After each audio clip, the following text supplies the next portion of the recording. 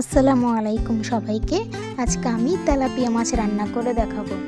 প্রথমত মাছগুলোকে এক চামচ মরিচের গুঁড়ো, পরিমাণ মতো লবণ, এক চামচ হলুদের গুঁড়ো দিয়ে পাঁচ মিনিটের জন্য মেরিনেট করে রেখে দেব। মেরিনেট প্রসেস শেষ হওয়ার পর চুলায় একটি প্যান বসিয়ে দেব। এরপর পরিমাণ মতো তেল দিয়ে মেরিনেট করা মাছগুলো ভেজে নেব। তারপর আবার আরেকটা হাঁড়িতে পরিমাণ মতো তেল দিয়ে তার মধ্যে পেঁয়াজ কুচি দিব।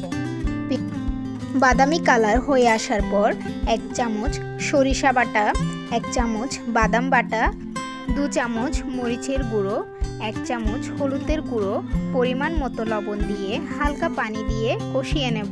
মশলাগুলো কষিয়ে আসার পর টমেটো এবং কাঁচামরিচ দিয়ে হালকা একটু পানি দিয়ে সব কিছু ভালোভাবে কষিয়ে নেব।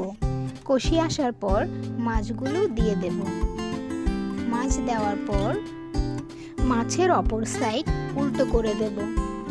রান্না হয়ে আসার পর পরিমাণ মতো পানি দিয়ে ধনিয়া পাতা কুচি দিয়ে দু তিন মিনিট রান্না করে এরপর নামিয়ে নেব।